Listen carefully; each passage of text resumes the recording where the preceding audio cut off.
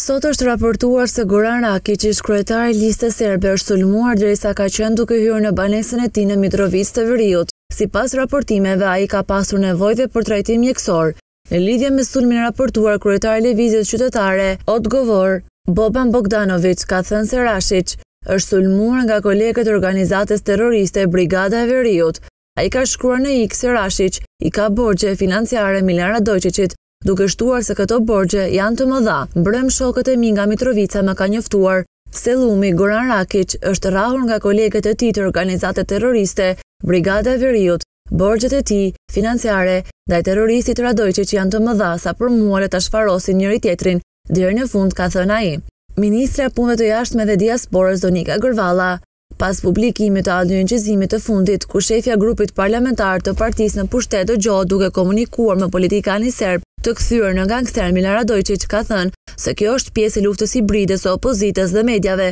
kundër qeverisë.